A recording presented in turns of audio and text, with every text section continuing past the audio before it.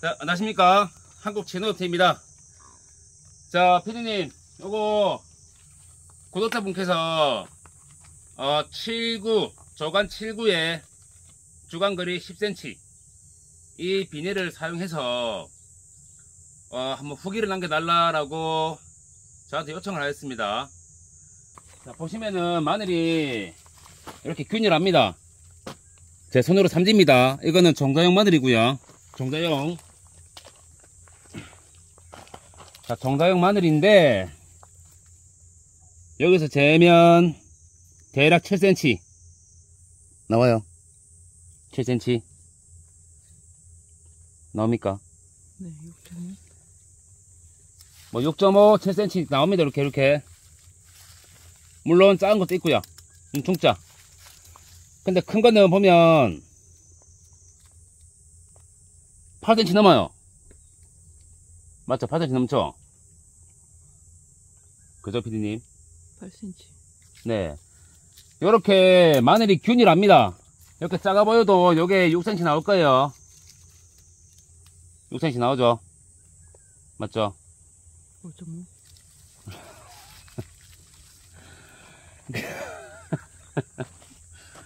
이렇게 뭐 균일합니다. 마늘은 되게 균일해요.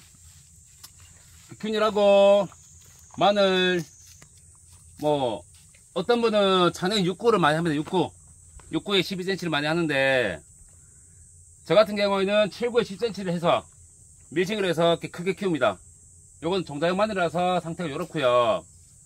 올해 큰 마늘 심어서 아마 다 오제를 제가 만들 계획입니다. 피디 밑에 자, 비닐 규격은 1550 나옵니까? 1550 그죠? 네. 그리고 비닐 흰 부분 요게 1m가 안됩니다 제게 그죠? 딱 100 아니야? 어 1m인데 제가 왜 100이나 105cm를 하냐면 요 안에 흙을 조금 넣어줘야 이렇게 끝에가 볼록하게 나옵니다. 그래서 제가 두둑을 102에서 105cm를 말씀드린 거예요. 어, 기계라는 게 정확하지가 않더라고요. 자, 검은 부분. 검은 부분. 자, 대략 27에서 28cm. 28cm죠. 그죠? 27. 28cm 아니에요. 28cm 맞잖아요, 검은 부분 여기. 자, 그리고 보통 여, 기 요쪽에 구멍이 있습니다. 일반 비닐은. 근데 이렇게 구멍 하시면 트랙터 작업할 때 밟아요. 저 같은 경우에는. 그래서 안쪽으로 대략 5cm에서 6cm를 제가 밀어요. 자, 딱 맞죠? 그죠? 그리고 피디님 구멍 한번 세봐봐요. 일곱 개 맞나? 하나, 둘, 셋, 넷, 다섯, 여섯, 일곱. 아, 7. 왜 계속 껐다 켜요? 자, 끝에를 이렇게 띄우고, 5cm에서 7cm 띄웁니다, 이렇게. 그 다음에 조간거리가, 자, 13cm, 13cm 나오죠, 그죠? 13, 14.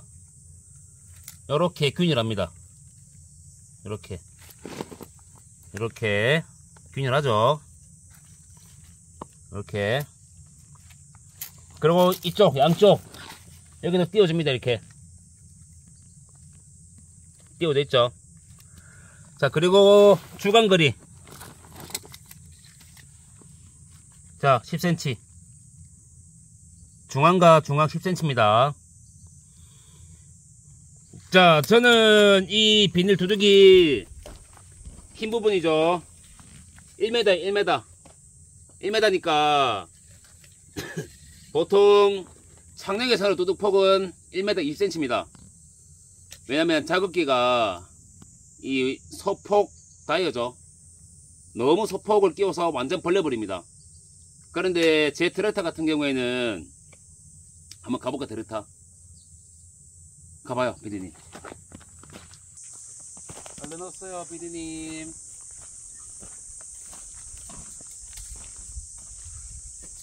아 목이. 자, 제 트랙터 폭이 120 7cm, 8cm 나옵니다. 이 폭이.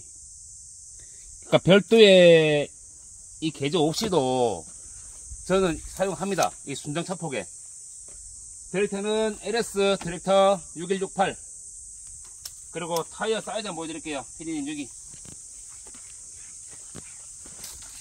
자, 보시면 12.4. 이게 뭐냐면 넓이에요, 넓이.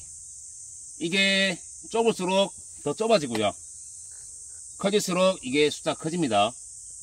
자, 32는 휠이 32인치입니다. 자, 제가 요거를 8.3을 써보고 9.5를 써봤습니다. 그런데 단점이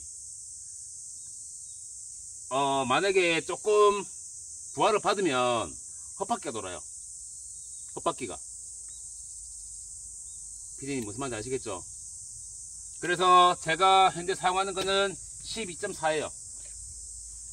그래서 요 안에 127cm가 나오기 때문에 제가 뚜둑을 120을 맞춰버리면 어, 실제로 골 타는 거는 한 130, 40 됩니다. 실제로. 그러면 제가 마늘 다 발라버려요. 그래서 제가 남들보다 폭을 더 줄인 이유가 그겁니다. 줄여서 일식으로 많이 생산하는 거죠. 다시 마늘 가볼까요, 피디님? 요겁니다. 마늘 순 치는 거 가까이 좀 찍어줘요. 가까이. 자, 저는 신흥고급사 제품을 사용하고 있고요. 뭐 불스, 하다, 또 뭐 있죠? 뭐 신흥, 뭐 두루, 요런 기계도 많이 있습니다. 근데 저는 이 신흥 걸 되게 선호합니다. 밑에 한번 봐봐요. 주걱같이 생긴 거. 주걱으로 회전하면서 이 마늘을 이렇게 다 쳐버리거든요. 그래서 항상 이렇게 20cm나 40cm 남아요. 어, 그 초벌을 하고 사람으로 저 낫을 칩니다. 그리고 저거 휴리기.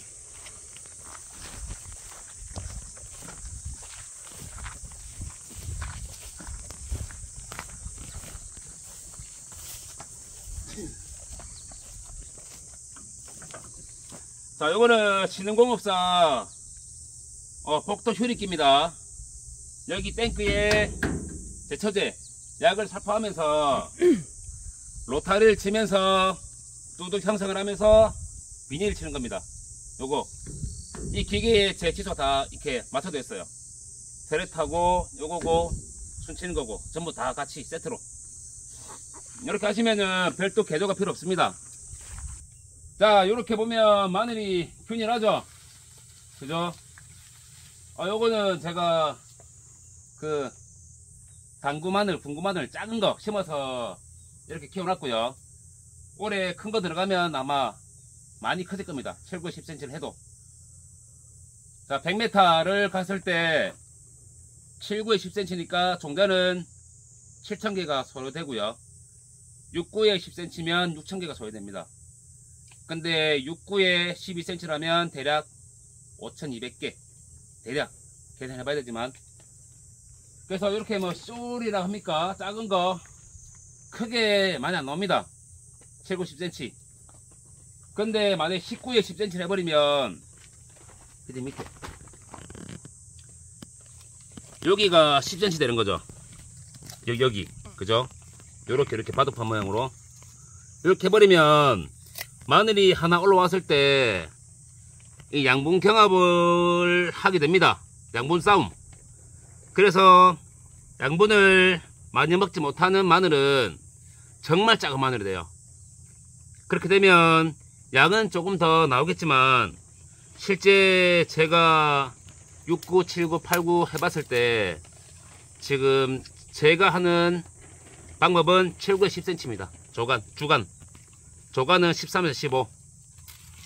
어, 제가 이걸 했을 때 이게 바람도 통하고 저는 되게 좋았던 것 같아요. 수확량이. 그래서 뭐 구독자님께서 요청하셔서 제가 이렇게 영상 찍습니다. 아, 찍고 현재 종자형 마늘인데 불구하고 봐봐요. 큽니다. 엄청 큽니다. 마늘이. 삼지예요. 삼지. 삼지입니다.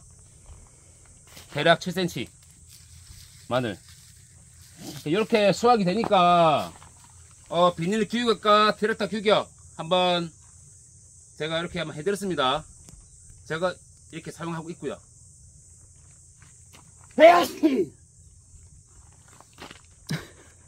자, 비 오는 가운데 구독자님 요청으로 이렇게 영상 한번 찍어보고 어, 마을 농사 참고하셨으면 합니다. 자, 이렇게 또 영상 마무리하고 농사 또 남겨볼게요. 감사합니다.